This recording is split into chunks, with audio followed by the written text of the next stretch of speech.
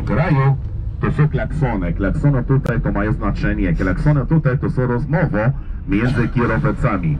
Pip, uwaga na prawo, pip, pip, uwaga na lewo, pip, pip, pip, pip, pozdrowienie, pip, uwaga, jadę szybko, a jeśli pip długi na jakieś 10-15 sekundy, to znaczy kierowca jest bardzo nerwowy, a wtedy on mówi drugiemu parę tych nieładnych słów. Coś się zaczyna na kawę w waszym języku. Chyba kochamy cię. Tak ładnie kochamy cię. A jak o nas robimy prawo jazdy, to musi być bardzo trudno.